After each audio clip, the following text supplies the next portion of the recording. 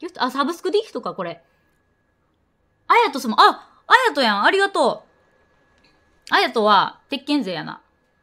あやとは、大阪住んどうときに、うちに泊めたことある鉄拳勢。お、あやとありがとう、サブスク。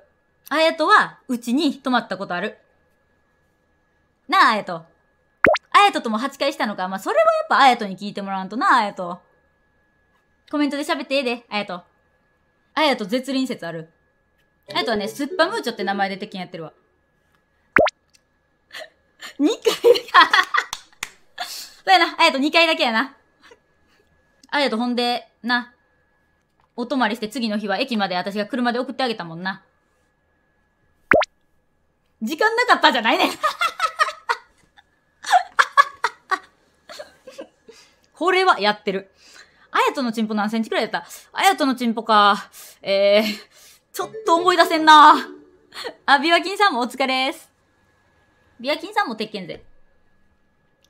車でちょっと時間あったけ抜いてもらった。そうやね、あのちっちゃいミラジーの中で、もう窓もな、その、何も貼ってないけん好き好きやけど、ちょっとやらせてもらいました。ちょっと印象にないチンポでしたね。